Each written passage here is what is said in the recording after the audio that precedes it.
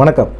திண்டிவனம் நீதிமன்றத்துக்கு இன்னைக்கு Rajya Sabha MP C V Shanmugam வந்து நேரடியாக வந்து சாட்சி சொல்லிட்டு பிறகு செய்தியாளர்களை வந்து சந்திக்க வந்திருந்தார். செய்தியாளர் சந்திப்பில் வந்து சசிகலா ஆதரவு ஆதரவாளர்கள் வந்து தினமும் வந்து ஃபோன் பண்ணி என்னை மிரட்டுறாங்க கொலை மிரட்டல் விடுக்கிறாங்க அவதூறாக பேசுகிறாங்க அப்படின்னு சொல்லிட்டு நான் பலகட்டமான ஒரு புகார்கள் வந்து எல்லா இடத்துலையுமே கொடுத்துருக்குறேன். அது மீது எந்த விதமான நடவடிக்கையுமே எடுக்கப்படலை.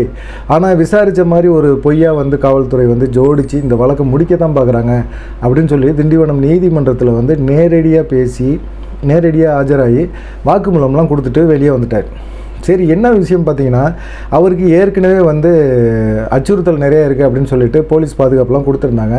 ஆனால் காவல்துறை என்ன செஞ்சாங்க? திமுக அரசு ஆட்சிக்கு வந்த பிறகு அவருக்கு எந்த விதமான அச்சுறுத்தலும் இல்லை. அவராக வந்து சொல்லிக்கிறாரு அதனால் அச்சுறுத்தல் இல்லை அப்படிங்கிறனால அவருக்கு கொடுக்கப்பட்ட பாதுகாப்பு காவல்துறை வந்து நீக்கிட்டாங்க. இதனால் வந்து அவருக்கு வந்து என்னென்னா ரொம்ப காண்டாயிட்டார். இது மாதிரி வந்து எனக்கு வந்து அவ பயங்கரமான கொலை மிரட்டெல்லாம் ஏகப்பட்டது இருக்குது இந்த மாதிரி சமயத்தில் வந்து காவல்துறையும் வாபஸ் வாங்கிட்டீங்க. பாதுகாப்பே இல்லாமல் நான் சுற்றிட்டு இருக்கேன். எனக்கு வந்து பாதுகாப்பு கொடுக்கணும் அப்படின்னு சொல்லும்போது காவல்துறையில் வந்து என்ன சொல்லிட்டாங்க? இல்லை அவருக்கு எந்த விதமான அச்சுறுத்தலும் இல்லை. அவராக வந்து சொல்லிகிட்டு இருக்காரு அப்படிங்கிற மாதிரி சொல்லிட்டாங்க. அதே போல் பார்த்தீங்கன்னா விழுப்புரத்தில் வந்து சசிகலாவுக்கு ஆதரவாளர்கள் அதிகமாக இருக்காங்க. அவங்க எல்லாருமே வந்து சி வி சண்முகத்துக்கு எதிரான ஒரு கோஷ்டியாக தான் இருக்கிறாங்க. அவங்க மேலே எல்லாம் வந்து இவங்க வந்து என்னை கொலை மிரட்டல் விடுத்தாங்க அப்படின்னு சொல்லிட்டு ஆதாரத்தோடு அவருடைய வழக்கறிஞர் மூலமாக வந்து காவல்துறையில் எல்லா இடத்துலையும் வந்து புகார் கொடுத்துருந்தாரு. அதுக்கு வந்து எந்த விதமான விசாரணையும் இது வரைக்கும் காவல்துறை நான் எடுக்கவே இல்லை.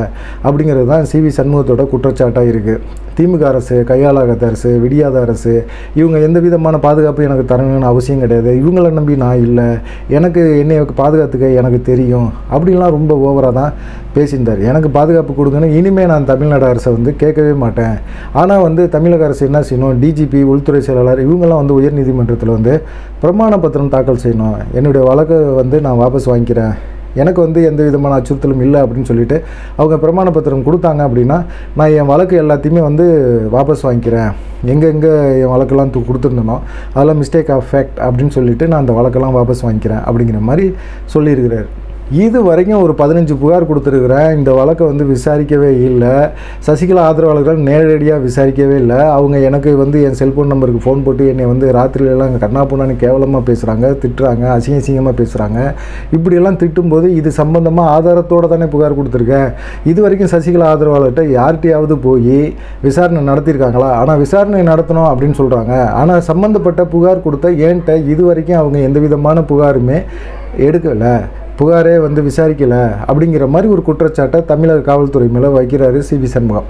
ஆனால் காவல்துறை என்ன செய்யுது விசாரணை பண்ணோம் அப்படின்னு சொல்லி ஒரு பொய்யான தகவலை வந்து நீதிமன்றத்திலே கொடுக்குறாங்க அப்படிங்கிற மாதிரி அவர் குற்றச்சாட்டை சொல்கிறார் ஒரு விஷயம் மட்டும் தெளிவாக தெரிஞ்சிருச்சு. விஷய விழுப்புரத்தில் வந்து அதிமுக அப்படின்னா சசிகலாவுக்கு ஆதரவாளர்கள் அதிகமாக இருக்காங்க அப்படிங்கிற அளவுக்கு தெரியுது. சி வி சண்முகம் வந்து ராஜ்யசபை எம்பியாக இருக்கிறாரு. அவரே மிரட்டுற அளவுக்கு சசிகலா ஆதரவாளர்கள் இருக்காங்க அப்படின்னா கண்டிப்பாக வந்து சி வி சண்முகத்துக்கு அங்கே செல்வாக்கு இல்லையோ அப்படிங்கிற எண்ணம் வந்து இப்போ தோன்ற ஆரம்பிச்சிருக்கு அப்படிங்கிற மாதிரி சொல்கிறாங்க பார்க்கலாம். சசிகலாவுக்கு அதிக அளவில் ஆதரவு இருந்தாலும் சசிகலா ஆதரவாளர் மூலமாக சி வி சண்முகத்துக்கு கொலை மிரட்டல் விடுத்திருக்காங்க அப்படிங்கிற மாதிரி ஒரு குற்றச்சாட்டு இருக்குது எதுக்காக கொலை மிரட்டல் விடுத்தாங்க அப்படின்னு பார்த்தீங்கன்னா அவங்களுடைய ஜாதி சம்மந்தப்பட்ட விஷயங்களை இவர் வந்து அசிங்கமாக கேவலமாக பேசும்போது அது சம்மந்தப்பட்டவங்க வந்து அது மாதிரி அவரை வந்து அந்த சமயத்தில் மிரட்டினாங்க அப்படிங்கிற மாதிரி தான் குற்றச்சாட்டாக இருக்குது பார்க்கலாம் என்ன நடக்கும் அப்படிங்கிறத. நன்றி. வணக்கம்.